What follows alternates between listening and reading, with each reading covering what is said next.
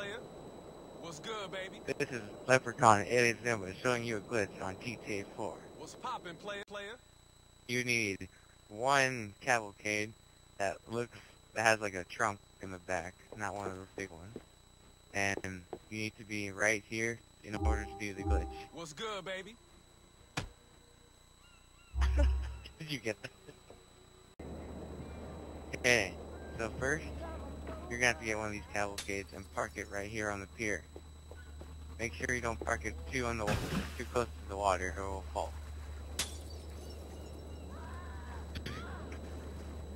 Once it's parked up, get a driver and another person. Person in the water jumps onto the cavalcade. The driver just drives.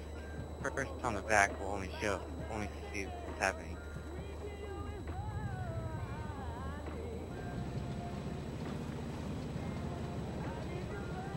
Long as you hold on and don't jump off, you'll still see it happening.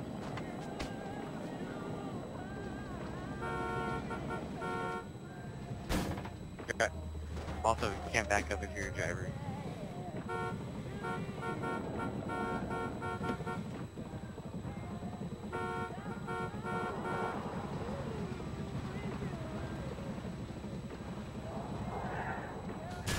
I hope you enjoyed the glitch, and please subscribe to Alias the Mess.